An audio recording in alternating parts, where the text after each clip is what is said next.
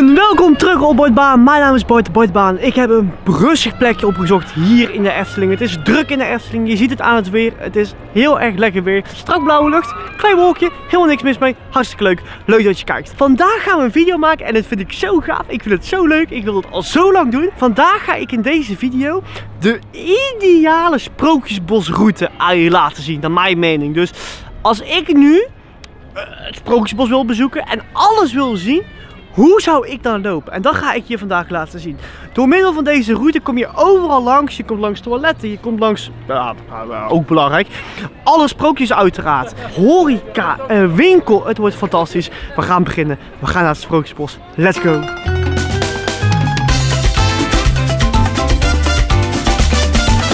Ja, nogmaals welkom terug allemaal.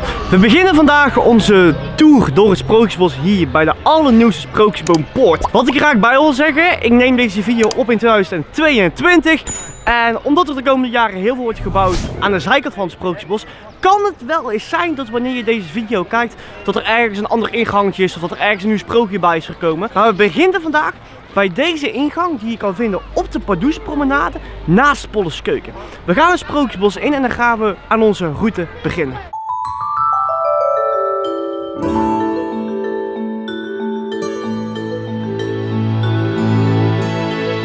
Ja, als we binnenkomen kunnen we twee kanten op. We kunnen naar rechts zo richting het Kabouterdorp. Maar ik kies ervoor om naar links te gaan. Dat heeft de reden, die ga ik je zo meteen vertellen. En dan komen we meteen bij het eerste sprookje terecht. Langnek.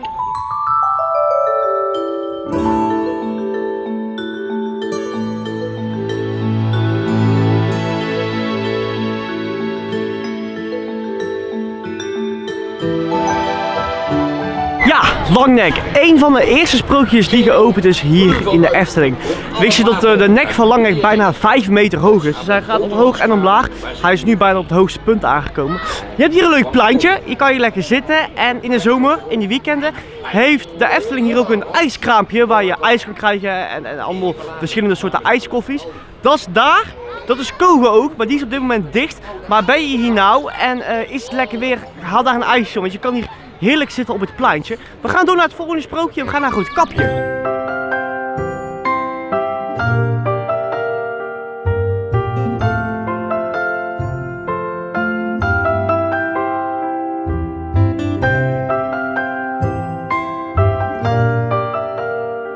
Ja, Roodkapje. Ik heb er al twee leuke weetjes over. Als je het gebouwtje ziet, het huisje van Roodkapje, dan denk je, hé, hey, het is super oud. Dat is dus niet waar. In 2017 is het uh, huisje van Roodkapje helemaal afgebroken en opnieuw opgebouwd. En dat heeft ermee te maken dat ze erachter kwamen dat het huisje van Roodkapje gewoon uit karton bestond. Dat is echt geen grapje, het bestond gewoon uit karton. Dus daar hebben ze afgebroken, opnieuw opgebouwd. En aan de andere kant van het huisje, zeg maar tegen Langnek aan, ik heb er een, een beeld van gemaakt, komt hier. Daar zie je een vijvertje. En in dat vijvertje zwemmen gewoon hele grote vissen. Nou, hartstikke leuk. We gaan naar Pinocchio, want daar wil ik je ook graag wat leuks laten zien. Zoals je misschien uh, wel is opgevallen, bij ieder sprookje in het Sprookjesbos staat een sprookjesboek. En daarin wordt het desbetreffende sprookje in vier talen uitgelegd. Bij Pinocchio is dat iets anders. Daar zijn het, zijn het vijf talen. Want bij Pinocchio wordt ook het sprookje in het Italiaans uitgelegd. Kijk maar even.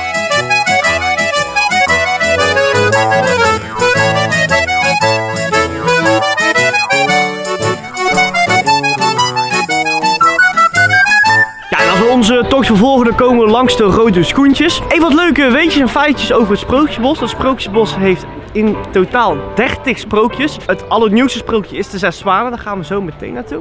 En uh, later in deze video ga ik wat weggeven. En dat doe ik niet vaak, maar dat ga ik vandaag doen. Ik heb daar een uh, leuke prijsvraag bedacht, hier uh, rondom het Sprookjesbos. We zijn nu aangekomen bij de Trollenkoning en ik wil je even een heel leuk dingetje laten zien, wat je zeker niet mag overslaan wanneer je hier bent.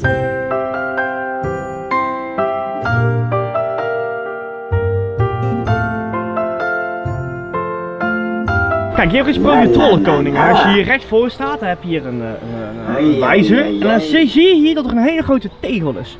En als je hierop gaat staan, dan trilt deze tegel op het begin van een sprookje. En toevallig heb ik dat net even gefilmd, dus dat ziet er zo uit.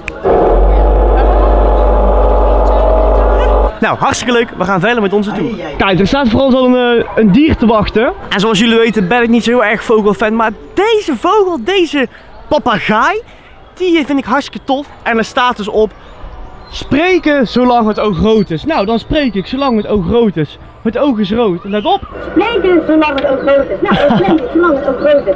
Het oog is Nou, hartstikke leuk. En een sprookje heet, want dit is dus, dus ook echt een sprookje. Het stoute prinsesje. Nou, wil je weten hoe dat sprookje gaat, dan moet je maar lekker op Google kijken. Maar, oh, nou, ik word nog herhaald. Hartstikke leuk jongens, we gaan verder. Ehm, het is lekker rustig in het Sprookjesbos. Ik ga je zo meteen vertellen op welke tijdje van de dag het beste het Sprookjesbos kan bezoeken. Nou, wanneer je dus bij de papegaaien bent geweest, dan ga je langs Rapontje.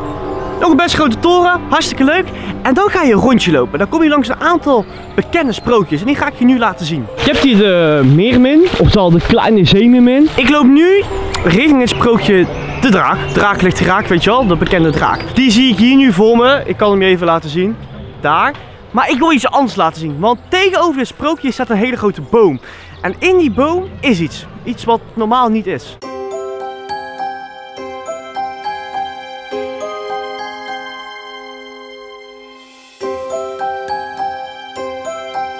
Nou, wat is het leuke is, tegenover die eh, draak is een hele grote boom en daarin is een eh, bezem en een tas verstopt van een heks.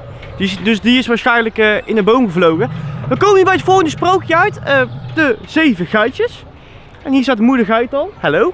En ik wil je hier een paar dingetjes laten zien, want dit is, vind ik een heel erg gaaf sprookje. Er zijn een aantal dingen die je waarschijnlijk nog nooit zijn opgevallen, die ik je nu even ga showen. Let's start with that one. Oké, jullie mogen mij gaan vertellen, ik zou het echt niet weten wat dit voor een figuur is. Ik zou het echt niet weten wanneer je hier het sprookje inloopt. Staat dit ding op je te wachten. Ik zou het echt niet weten. Vertel het in de comments, ik ben heel erg benieuwd. Nou, kijk, een sprookje. En wat wel heel erg vervelend is, dat is eigenlijk bij alle sprookjes in de Efteling, het glas is weerkaafd. Dus ik kan je heel slecht laten zien wat er nou binnen precies gedaan wordt.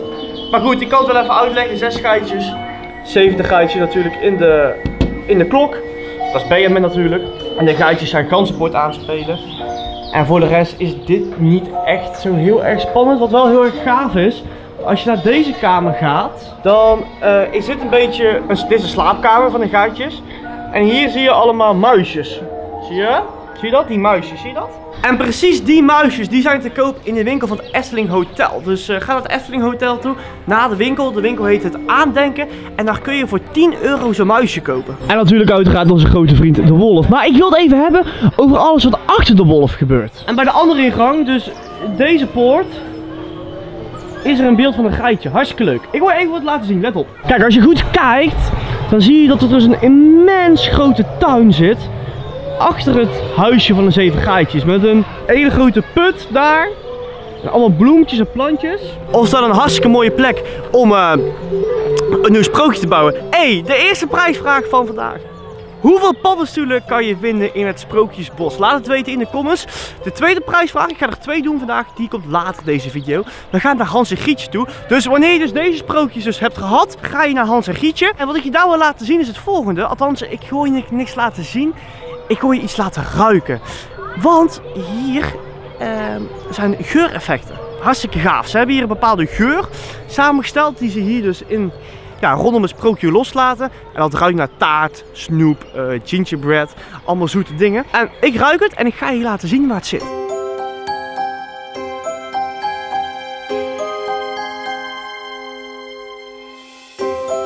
Je zag net tussen de tulpen, zag je die eh, watertjes, weet je wel, die kleine fonteintjes. Nou, daar zit dus dat geureffect in. En wat dus wel leuk is om te vertellen, in de zomer, in de lente, eh, zoals nu, heb je een geureffectje. Dat is lekker zomers, lekker fris, lekker zoet.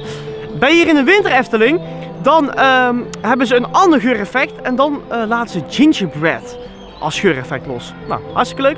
We gaan eh, richting het Herautenplein, eh oftewel mijn favoriete plein van het Sprookjesbos. Eh let's go. Ja, de punt van vrouw Holle, die staat er altijd nog. Het huisje van vrouw Holle, die is er op dit moment niet. Kijk.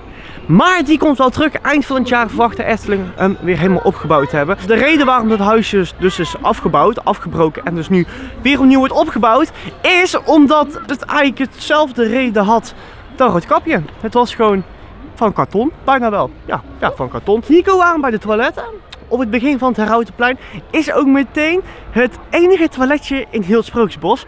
En dan komen we natuurlijk bij mijn vriend Kleine Boodschap. Alright, ik wilde je ehm, wat laten zien bij Ezeltje Strekje. Alleen zie ik dat hij vandaag genoeg gepoept heeft. Hij is kapot. Nou goed, dan doen we eerst even wat andere sprookjes hier in het Sprookjesbos. Wat veel mensen niet weten is dat het sprookje van Ezeltje Strekje, tafeltje dekje, bestaat uit twee delen. Dit is de herberg uit het sprookje. En dan heb je ook nog op het plein dus de ezel. Dat, dat hoort bij elkaar. En wat, is leuk is, wat dus leuk is om te vertellen, je hebt hier herberg de Ersteling. En veel mensen zeggen dat de naam van het park, de Efteling, afstamt van een oude herberg hier in de buurt, die dus toen ook de Ersteling heette. We gaan naar binnen toe. Kijk, je kan hier oprecht ook echt zitten. Je hebt hier echt tafeltjes en stoeltjes, al zijn het er niet zoveel. En dan kun je kijken naar het sprookje van tafeltje, dekje, ezeltje, strekje. Nou, wat is voor die twee delen geldt bij tafeltje, dekje, ezeltje, strekje, geldt ook voor het sprookje van Sneeuwwitje. Dit prachtige gebouwtje, daar kun je de spiegel vinden van de stiefmoeder van Sneeuwwitje. En wat verderop is een grot van de kabouters. Die gaan we beide eventjes checken. Maar we gaan eerst even naar binnen bij de spiegel.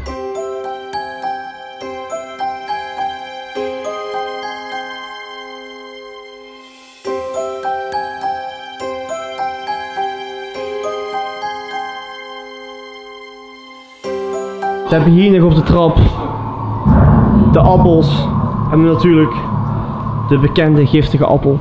Hier zo heb je dus allemaal duiven en andere vogels hier op het Herhoutenplein. Jij kan, als je zou willen, ik zou mijn god niet weten en ik zou het ook met geen enkele bui doen of überhaupt in mijn hoofd halen. Kun je voor een eurotje bij de kleine groen vogelvoer kopen en dan kun je duiven voederen. Ik ga dat niet doen. Ooit ben ik overgehaald om het wel te doen. Ik snap nog steeds niet hoe het is gelukt. Zullen we naar wat foto's kijken? Een oud fotoshootje van mij die ik hier heb gehad met duiven. Nou ja, komt ie. Ja, hartstikke leuk. Je kan een zakje van een eurotje kopen buiten Kleine Karoen. Wat we nu eens even gaan doen, uh, we gaan eens even wat lekkers bestellen bij Kleine Karoen. Want ik heb er wel zin in. Let's go!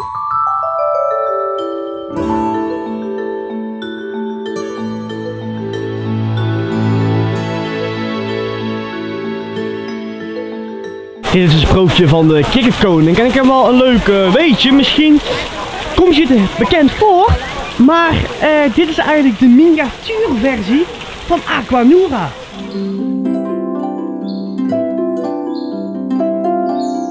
Kijk, je hebt dan drie zwanen. En dan gaan wij naar de voorste, naar de rode. En dan gaat het dus, dus uh, dat is wel leuk wat er nu gaat gebeuren. Let op. En dan gaan wij dus nu het sprookje de zes zwanen, het nieuwste sprookje van de Efteling uit 2019, gaan wij dus op een hele andere manier beleven. Vanuit de attractie, dit is, dit is ook meteen de enige attractie uit het Sprookjesbos. En dit moet je sowieso hebben gedaan op je route door het Sprookjesbos. Ik heb mijn zonnebril even afgedaan. Daar is ze, daar is Elise. Kijk, let op, let op. Wauw.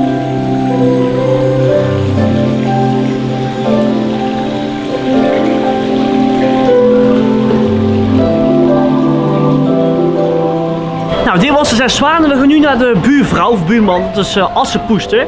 En ik ga je daar even één klein dingetje laten zien en dan gaan we verder met onze route. Wat ik je wilde vertellen, um, en volgens mij is hij nu kapot, dus dat is wel niet heel handig. Je hebt hier uh, het raam uh, met, met die gordijnen, zeg maar, bij Assenpoester. En af en toe, als je goed blijft kijken, komt daar een pop uit. En dat is de stiefmoeder van Assenpoester. Maar wat ik zeg, er komt er op dit moment vrij weinig achter het gordijn vandaan. Want hij is kapot. We gaan door. Als je deze poort uitloopt vanuit het Routenplein, vergeet dan niet links af te slaan richting de Indische waterlelies.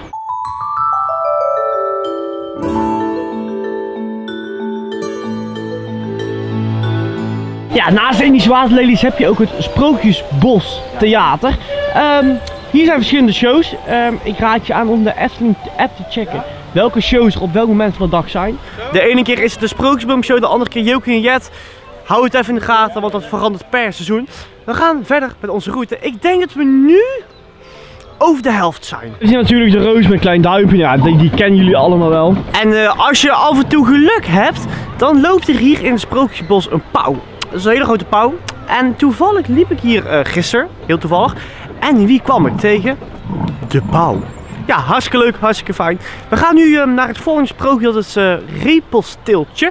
Daar is het altijd hartstikke druk. Waarom? Ik weet het niet, maar het is daar altijd hartstikke druk. Ja, we gaan nu even de laatste 5, 6 sprookjes afwerken. En dan ga ik je dus de truc laten zien waarom ik deze route altijd pak in het Sprookjesbos. En waarom jij dat ook het beste kan doen. Je komt sowieso als je deze route gebruikt alle sprookjes tegen. Allemaal, stuk voor stuk.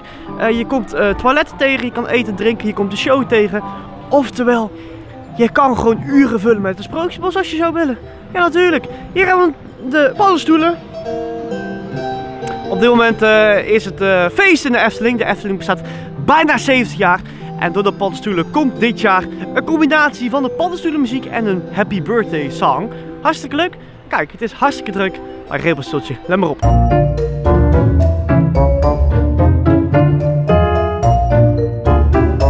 Als je goed kijkt zit het huisje van uh, Repelstiltje onder een boomstronk. Dat hebben ze al heel mooi gedaan. We gaan nu naar het meisje en de zwavelstokjes.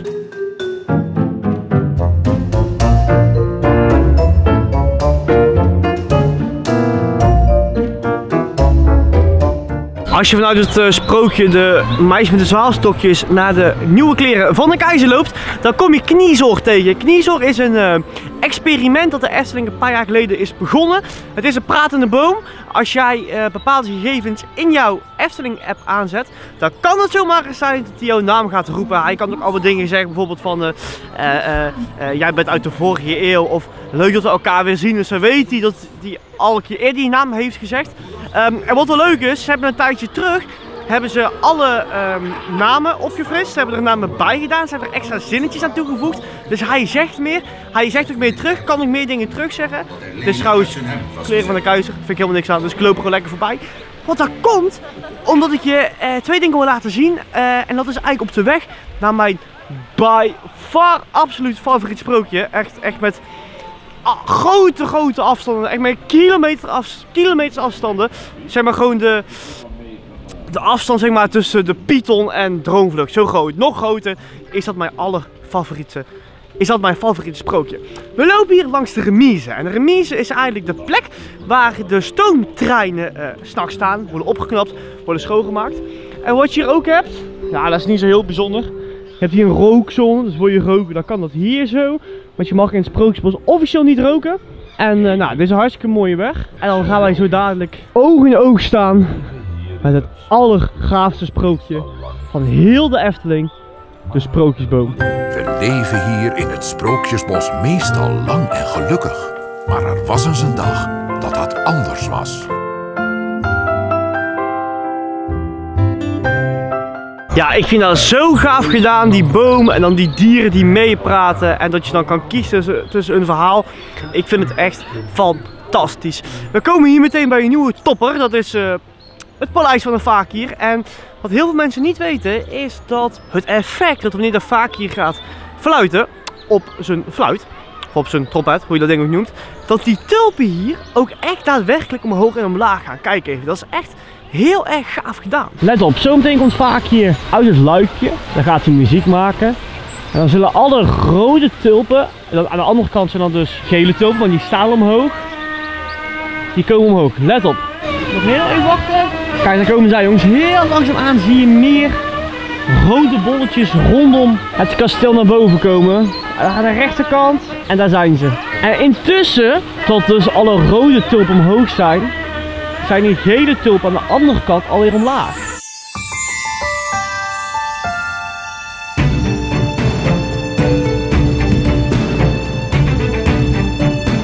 Ja, sprookje de Chinese nachtegaal. Een prachtig sprookje. Uh, hij was alleen kapot.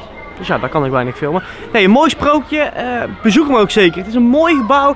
Hij is mooi uh, in, in, thema van de binnenkant. Uh, dit wordt vaak de mensen overgeslagen. Omdat het vaak het laatste sprookje is. Een beetje verborgen. Maar dit is echt een fantastisch sprookje. Nou, en tijdens de route kom je ook langs deze tuin. En deze tuin heb je verschillende planten. En, en bloemen. En je vindt hier ook verschillende beelden. Dat is wel leuk om te vertellen. Nu ga ik een beetje je geschiedenisdocent nadoen. Dit beeld is al een heel mooi beeld. Dit is van een gebroeders Grim. En deze twee mannen hebben eigenlijk alle, bijna alle sprookjes geschreven die je kan vinden in de Efteling. Dat is al heel erg lang geleden hoor. Dus dit zijn uh, hele bekende mensen. Nou, en hier vind je ook verschillende andere beelden van, van jubileums en zo. Dus uh, ga op, uh, op zoektocht naar die beelden en alle andere dingen die je hier kan vinden. En hier zo in de vijver, bij deze brug, bij het paleis van ja, de Chinese nachtegaal, vind je kapers. Kijk, en nu doe ik een beetje illegaal, want de Efteling zegt dat dat helemaal niet kan, maar het kan wel gewoon. Hier kom je dus officieel uit het Sprookjesbos. Hier heb je de grote souvenirswinkel, de Marskramer.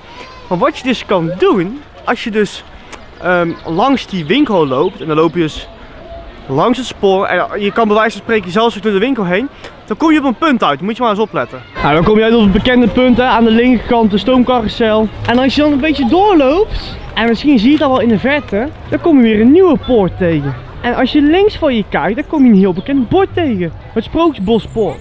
En als je hier nou doorheen loopt, dan ben je heel toevallig weer in het Sprookjesbos. En dan kan je de laatste sprookjes gaan doen die we nog niet gehad hebben. En waarom doe ik dit? Oh, doordat je dit doet, kom je en een winkeltje tegen. Zou je in de tussentijd nog even naar de wc kunnen? Bij het Witte Paard kun je een tostietje halen of iets anders te eten. Bij een van de vele eetentjes die daar wel zijn. Niet en niet in het Sprookjesbos. En je kan even naar de winkel toe. Hartstikke handig, hartstikke fijn. We gaan verder met onze route. Piep! Dat gaan we helemaal niet doen. Ik ga je nu een aantal merchandise laten zien hier in de Oude Marskamer. Die eh, in het thema zijn van het Sprookjesbos. Nou, je hebt hier sowieso deze superleuke sprookjesbomen. Dat zijn echt plantjes. Dus dit, dit is dan de sprookjesboom en hier zit dan een plantje. Je hebt allemaal potjes uh, stroopwafels uit het uh, sprookjesbos. Je hebt langnek hier. We hebben uh, theepotjes van Indische waterlelies, onderzetters van de sprookjesboom. Je hebt zelfs een lamp uh, van Hans en Grietje. Dus dit is echt een lamp. En dit is heel leuk. Dit is een opblaasbare langnek. 5 euro voor in, uh, voor in het zwembad. Voor je een eigen paddenstoel in je huis, dan kun je een eigen paddenstoel meenemen. Een eigen zitje. En volgens mij 50 euro. Even kijken. Ik weet niet precies hoeveel ze kost, maar in ieder geval rond de 50 euro. Ja, en zij, zo zijn er nog 100.000 souvenirs. Uh, magneten, kaartjes, uh, pins, knuffels. Noem maar op. Wij gaan verder, nu echt, met onze laatste sprookjes in het Sprookjesbos. Ja, we lopen hier langs de ene laatste sprookje van de dag, Roosje. En jullie mogen iets vertellen. En dat is eigenlijk de tweede prijsvraag van vandaag. Het sprookje van Roosje gaat natuurlijk over Roosje die 100 jaar slaapt. En na 100 jaar wordt wakker gekust door een prins. Hoe oud is de Efteling dit jaar? 70 jaar. Hoe oud is het kasteel van Roosje en dus hoe lang slaapt Roosje al? 70 jaar. Wat zal de Efteling moeten doen als het park 100 jaar bestaat? Wat zullen ze dan met Don Roosje moeten doen? Op een of andere manier. Altijd als ik door dat kasteel loop, denk ik van ja, zullen ze dan, dan, dan Don Roosje afbreken? Zullen ze, zullen, ze, zullen ze Don Roosje weghalen? Zullen ze Don Roosje laten liggen? Ik weet het niet. Laat het weten in de comments. En ik vind het meest creatieve antwoord, die wint de prijs. Ik ga jullie alvast vertellen. Die prijs, die, uh, die, uh, die ga ik nog niet aankomende week opsturen. Er komt iets heel erg gaafs aan van Bordbaan. En zodra dat er is, dan stuur ik naar zowel degene die weet hoeveel paddenstoelen er in het Sprookjesbos zijn. Als degene die het creatiefste en het tofste antwoord heeft over wat ze met Don Roosje moeten doen over 30 jaar. Een tof, tof Bordbaan merchandise dingetje op. We gaan naar het Kabouterdorp. Nou, en dan loop je via het Kabouterdorp, wat waarschijnlijk voor iedereen wel bekend is. Hier hoef ik allemaal niet doorheen. Pas er ook niet doorheen door die dingen. Kom je dadelijk bij het punt uit waar we zijn begonnen. Maar voordat we daar zijn, is er nog één ding wat je heel graag wil laten zien. Het Sprookjesbos heeft dus een attractie, sprookjes. Uiteraard, uh, het heeft toiletten, het heeft shows. Maar het heeft nog iets. Restaurants. Het heeft nog iets. Iets dat heel bijzonder is. En dat is echt geen grapje, dat meen ik serieus. Dus je kan me daar gaan uitlachen. Je kan denken, ja Bart, hou alsjeblieft ermee op. Maar dit meen ik serieus. Het Sprookjesbos heeft een hotel. Wat zeg ik? Twee hotels. En die ga ik je nu laten zien. Namelijk, verstopt achter deze bomen is een ontzettend groot insectenhotel gebouwd. Een paar jaar geleden. Hier zo, met die boomstam. Dat is een ontzettend groot insectenhotel. En aan deze kant, als je goed kijkt, zit er ook eentje. Ik ga heel even zo. Dat is ook een van de twee insectenhotels. Dus aan deze kant en aan hier zo, je kunt het hier beter zien zijn dus een paar jaar geleden twee onwijs grote insectenhotels gebouwd. Of dat ze gebruikt worden, dat weet ik niet. Ja, dat was onze route door het Sprookjesbos. Ik vond het echt fantastisch om te doen. Ik denk als je deze route volgt en het een beetje leuk doet, dat je zeker twee uur bezig bent. Je kan ook verschillende shortcuts nemen, dus echt uh, af, dat je dingetjes kan afsnijden en zo. Dat ga ik je binnenkort vertellen. Maar dit is naar mijn mening de meest ideale route voor het Sprookjesbos. Ik wil je onwijs bedanken voor het kijken naar deze video. Blauw duimpje omhoog, abonneer op Bart Baan. En dan zie ik je vrijdag weer terug hier vanuit de Efteling. Doei doei!